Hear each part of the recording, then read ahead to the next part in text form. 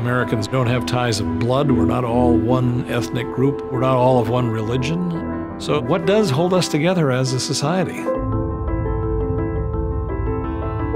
We're coming apart. Our institutions don't work. Our political system is so polarized. In times like this, we need stories that remind us of the ideals that hold us together.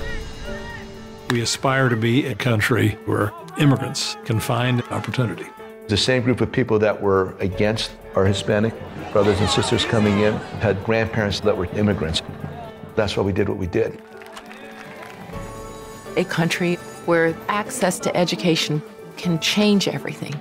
We've got to help these kids. We've got to be the ones that find the way. What does it mean to you, Nadir, whenever you hear the word American? That you're free to decide who you want to become. You don't join the military to be in one political party or not.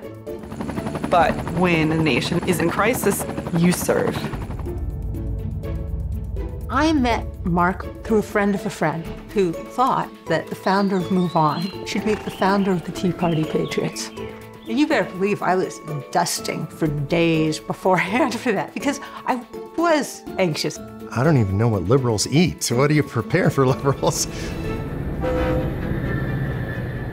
Equal opportunity.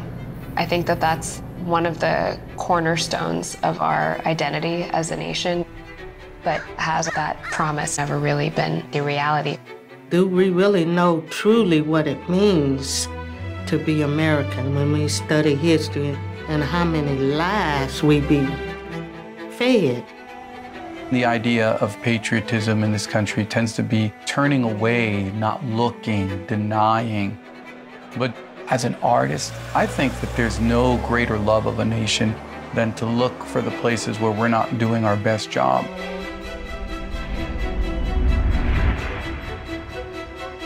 With so much diversity, we have to bond to a common sense of what we're trying to achieve.